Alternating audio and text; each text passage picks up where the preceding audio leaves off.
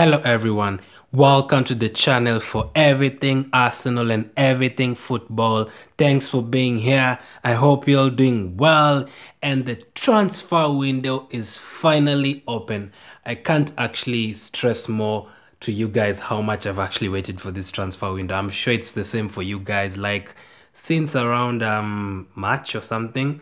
I was just waiting. I've been waiting for the transfer window, honestly. Like we've just as the season has gone by, we've noticed how how many problems we have in the team. Some that we already knew, of course, but as time went, as games came, as games ended, we realized how many more problems are developing, how many more problems are coming up, be it injuries with players, be it lack of discipline, be it um, players who have just stayed here for too long and we don't need them anymore, players who have fallen out of favor, players who don't fit Arteta's system, so many problems. So this transfer window is one of the most important transfer window for Arsenal in a while. Um, I remember one summer we signed only Cech. Last summer we got Pepe. The other summer we got Torreira, Guendouzi. And um, this summer it's finally Arteta's summer. Now he can get whichever player. Okay, he can't get whichever player. Depends on the budget, but he can actually get the players that he prefers to fit his system or he thinks would fit his system. So in this video, I'm going to be talking about um, the five players that Arsenal should sign from the three relegated teams. Uh, we know Watford have been relegated, Bournemouth have been relegated, and Norwich City have been relegated. Um, Norwich, of course, a couple of weeks ago, maybe two weeks ago. Bournemouth and Watford on the final day, we confirmed Watford's um, Watford's relegation. We all thought Aston Villa would get relegated, and that is why um, I didn't want. I was up, up supposed to do this video, video, video. Wow, that is crazy. Video.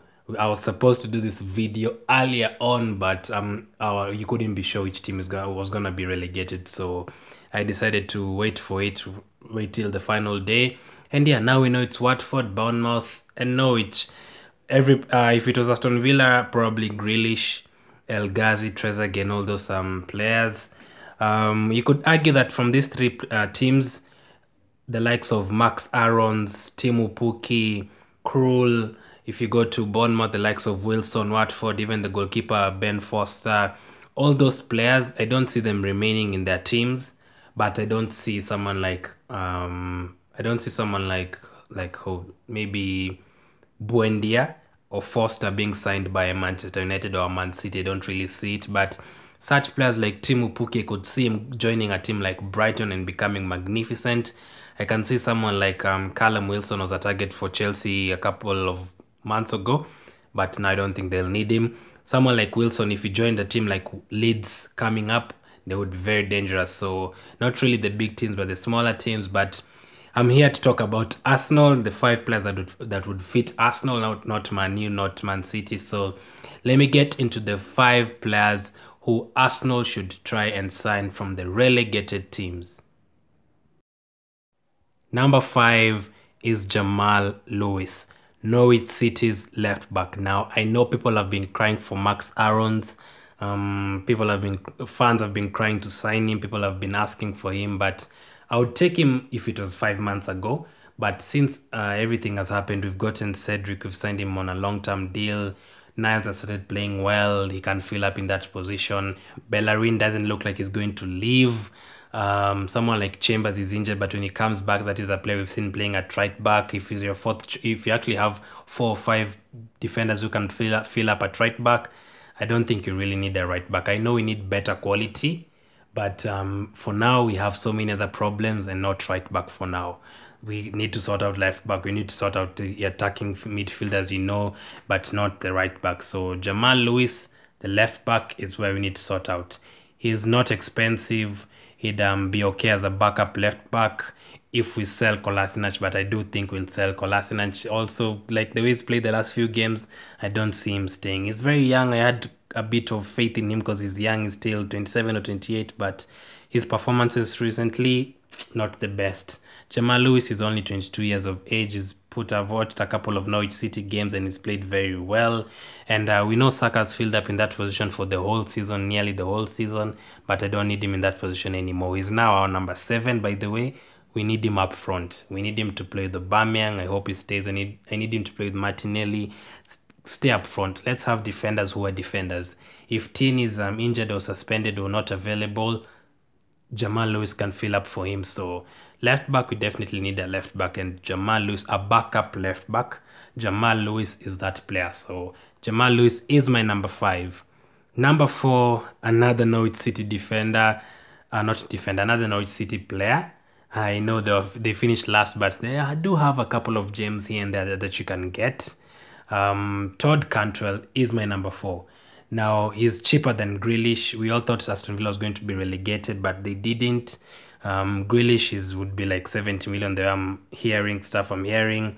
Um, Todd Cantwell, he, he could be in the first team. He could be on the bench. Let's be honest. We have no def- uh, creative midfielder or box to box midfielder. If Cantwell uh, came to Arsenal right now, today, he's starting the Chelsea game. Why? Because you have no creative midfielder at all. And this is a player who gets himself into the box um, the way um, Doucouré does at Watford, the way um, who else uh, Ramsey used to do for Arsenal is not the it doesn't have that style or swag or, or pace or all that, but he he'll he'll do the job for you. So Todd Cantwell for me, 22 years of age, not really much creativity, doesn't take corners or free kicks or stuff like that, but he gets, gets himself in very good uh, positions. I saw his partnership with Pukki early on in the season, very, very, very good. Scored very many goals, uh, considering I think he's got like 10% or 15% of their goals. So for me, Todd Cantwell it'd be okay for us. If he's like um 20 million, 25, I'd try and get him. For my number five, Jamal Lewis, if, if he's like 13 million to 15 million, why not I'd try and get him? Fill up the where you need. We've seen teams like Liverpool getting Wijnaldum and uh, Robertson when they're relegated. We've seen Leicester getting Maguire and Hull City was relegated. Let us now go for teams that have been relegated. Let's go for their players. Not very expensive. They're looking to offload these players. Let's go for them. Jamal Lewis, number five. Todd Cantwell, number four. Both know Norwich City players. That That is my number five and four. Let me know what you think about that.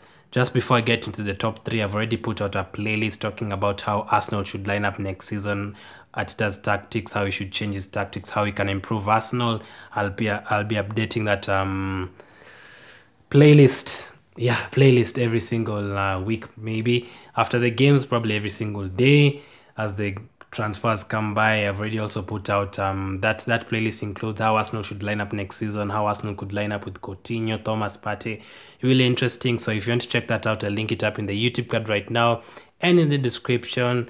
And yeah, without further ado, let's get into the top three players that Arsenal should sign or try to sign from the relegated teams. Number three, yes, we are moving away from Norwich City now we are going to Bournemouth.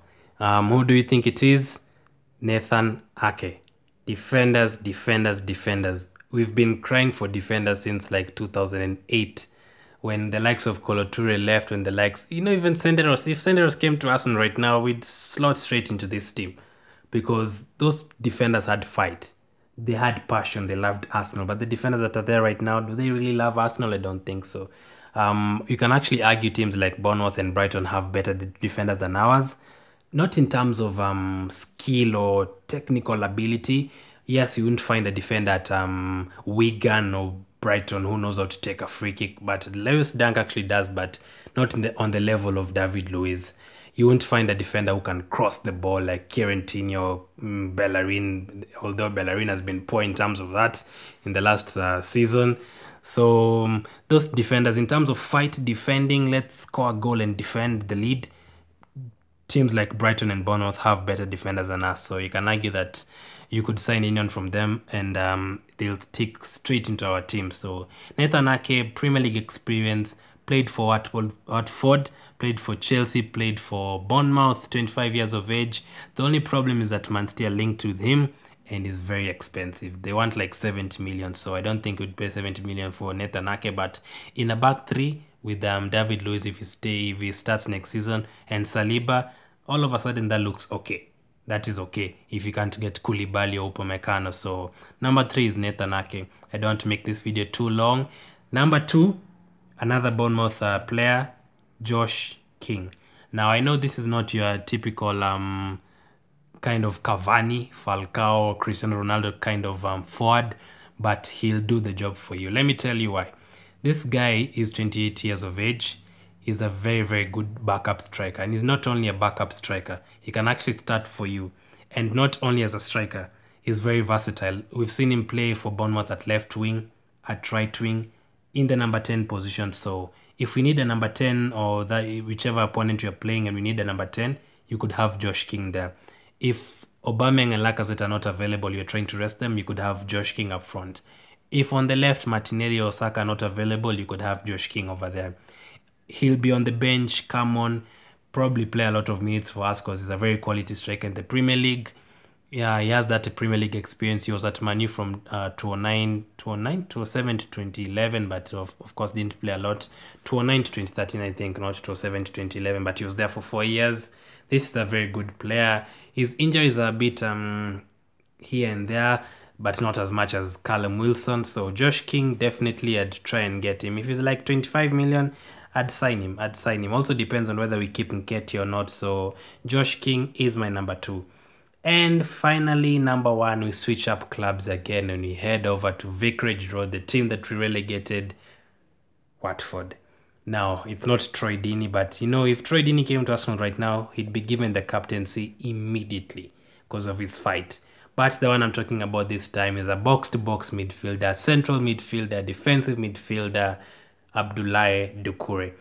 This is an, this is one player I definitely want. This is the first player I'd go for. I've already mentioned him uh, in this video. This is a player I'd definitely go for. He's 27 years of age, joined Watford in 2016. We've seen him score some incredible goals, defends very well, rarely picks up red cards like the likes of um, Capoue or Oriol Romeu at Southampton, those defensive midfielders who pick up a lot of cards. He doesn't really do that, or Capoue, his teammate. Him, he can he can do the job for you. He can play in a two, he can play in a three if you're playing with three midfielders. If you want him as a number 10 when you're trying to defend a lead and you want people who will just fight in the middle, you could have Doucouré there, you could have Xhaka there, you could have if still there, you could have all three of them, and all of a sudden you look solid enough. So Abdoulaye Doucouré definitely try to sign him that is my number one. I know this list would be different from you guys, as I've said. There, there are people like Max Aarons, Teemu Pukki, Krul, Buendia, um, Ramsdale from Bournemouth, Callum Wilson, Foster, Gerard Deulofeu, Ismail Sarr from Watford. All those players are quality, and I don't see any of those players remaining in their clubs. Teams like uh, Brighton, teams like um, Leeds, depending on whether what what other teams will come up, Fulham, Cardiff, Brentford all those teams they would do with such players. So that is my top five: Jamal Lewis, Todd Cantwell, Nathan Ake, Josh King, Doucouré. Let me know out of these five players which are the two you try and get, and let me know which five players you try and get from the relegated teams. Um, I'll have a lot of these videos coming up, transfer videos, but let's focus on the FA Cup final first. I'll have the preview for that on uh, Tuesday. When is today? Today is Monday, yeah on Tuesday I'll have it out. I'm so confused. I'm just waiting for the season to end, honestly. The transfer window is now open. More videos coming soon. Thanks for watching again. Keep staying safe. Make sure subscribe if you're new here, and I'll talk to you later.